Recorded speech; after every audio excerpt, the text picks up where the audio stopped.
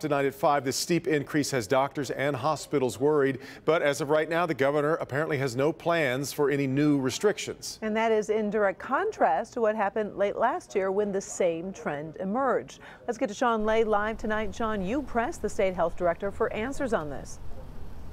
She was right here and she said shots, not shutdowns, in her opinion. And the state's opinion right now is the way out of this COVID crisis.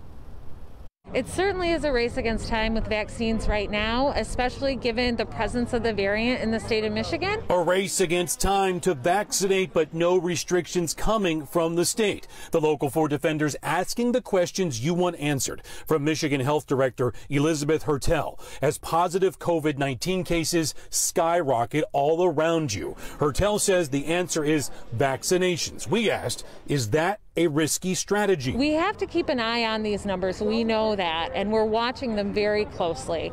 But again, given all of the metrics working together, we believe that at this point we can continue forward on a vaccine strategy while maintaining all of the limitations that we have in place. Last November 15th, the state health department enacted an emergency order keeping restaurants, gyms closed, telling families to limit visits. How high do the cases need to go now before more action needs to be taken? We've loosened our restrictions on March 5th. Um, we continue to watch and get these vaccines in arms, and we, we will continue to see where we get. And Governor Whitmer reminding that restrictions are still in place. A restaurant owner asking if we could lift the curfew because of the Michigan game last night.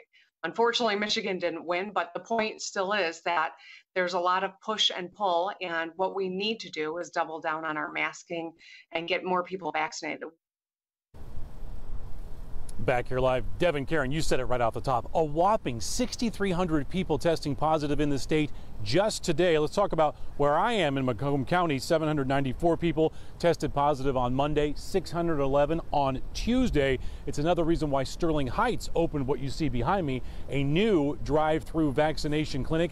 It opened today here at Lakeside Mall where the Sears used to be, the old Sears lot here, and it was busy, but you have to have an appointment, macombgov.org, macombgov.org for an appointment here at this drive-through clinic. Back to you.